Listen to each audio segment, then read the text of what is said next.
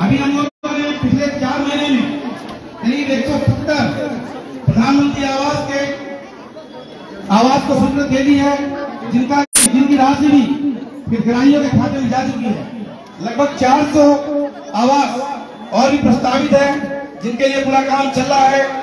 हितग्राही मूलक योजनाओं का लाभ जनता तक पहुँचे, उसके लिए भी हमारे कर्मचारी